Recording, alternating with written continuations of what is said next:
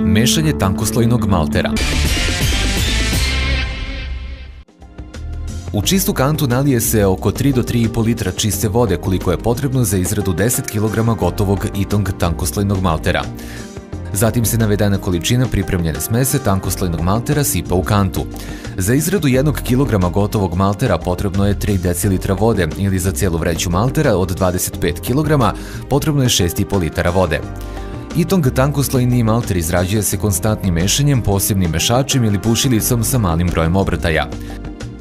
Malter se mora jednako izmešati i ne sme sadržati grudice ili mehure, a za postizanje homogene i čvrste mase potrebno je otprilike 2 do 3 minuta mešanja. Nakon prvog mešanja potrebno je pričekati 5 minuta i nakon toga ponoviti postupak. Konsistencija gotove smese maltera proverava se zidarskom istrijom ili itong lopaticom. Itong tankoslini beli malter nanosi se u debljini od 1 do 3 mm na itong blokove.